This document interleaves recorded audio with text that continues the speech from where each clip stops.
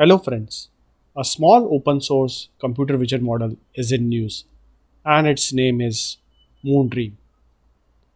So Moondream is built to run on edge devices, that is devices which has smaller memory capacity. Now in this video we are going to see its performance on various document understanding. For example, we will see how does it work in forms tables as well as some complex documents like prospectus. So let's get started. So authors of Moondream 2 already have published this on Hugging Face. So you can upload few documents, ask some questions and you will get a response. But for this demonstration, what we are going to do is we are going to use Colab and we are going to run for various use cases from Colab itself. So this is the walkthrough of the Colab notebook. So first of all, we mounted on the correct drive. Then we installed the libraries. It's pretty easy to do. And if you notice, I'm using T4. Again, I can use A100 or something else. Uh, the essential point is we are going to use it on a GPU. Now, what we have done is again, just as a simple transformers models, what you do is you load model as well as tokenizer. So that's what uh, we have done it here. So first of all, I'm loading an image and if you can see this image is nothing but a form. And the idea behind this was can I ask it to identify start dates and end dates. So this is how I went through. So I first of all asked what is this image about. So it, I just said describe this image and it said it's a table which is right. Then I said what is the date start. Now if you see this form the date is pretty different. So the year is 2023 but i think it came up with some answer which doesn't seems to be right. So at least i know that uh, the day and the month is correct but the year is not correct. So again i just changed the prompt and i said what is the date end and it says the date end is the last date of the month in the spreadsheet again i don't know if it makes sense or not because again 28 feb is the last date for that particular month. But is this the right answer? I'm not sure. Then i said find all dates and their meaning just to deviate it to you know correctly identify the answers. Again it says you know from it identified date from january 2nd to feb 28th which is correct especially with the months and the days but not with the year.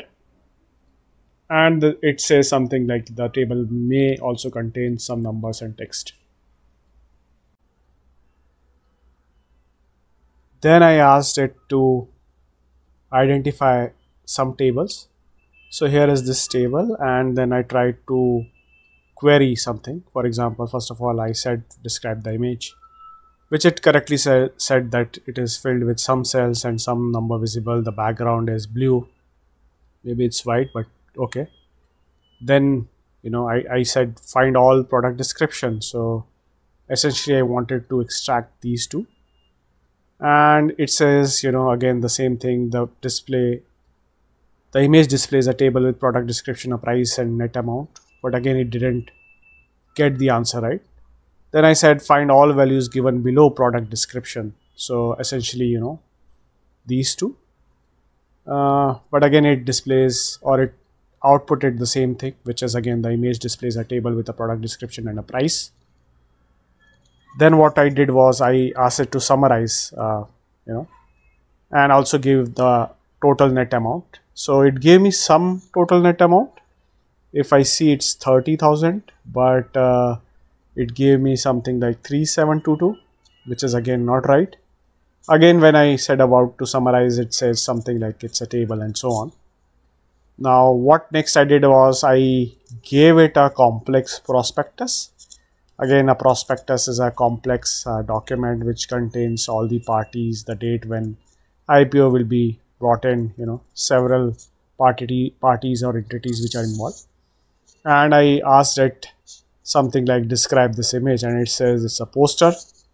Again i'm assuming that uh, it is you know trained on something which uh, is not on document so maybe it's good for some use cases where you have to identify some you know real images rather than document.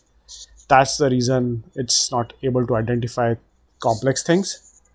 Now again i said to summarize it says again a poster is displayed featuring text and images and the poster is related to something something. Again i said what is the name of the company from this image? And it should have pick this company name which is Delhivery. It did give me answer. Again this is not the right answer. It should have an h. But anyways that's fine. Then again i asked what is the registered address? And if you see this contains registered address but definitely it was not able to identify. Then i said what is the corporate identity number? Which is again given here it again failed. It says you know as a visual AI assistant I cannot provide the exact answer to this question and so on. Then again I said extract website address which is given here. And definitely it failed then again I asked is image is image a prospectus? Again if you see this is a prospectus as such but again it answered with uh, no. So yeah i think it was a good experiment. My understanding is it is a very small model so maybe it's not uh, you know it has not seen all those complex use cases for document ai so my intention was to test it for extraction. Uh, but seems uh, uh since it's a very very tiny model it may not be relevant enough for our document ai use cases so yeah maybe if uh, someday we can fine tune it on document AI itself or use cases which belongs to document AI, maybe you know some sort of forms, tables as well as some complex documents. Maybe we'll come to know how it will perform. So anyways, thanks, thanks team, thanks for watching. Bye.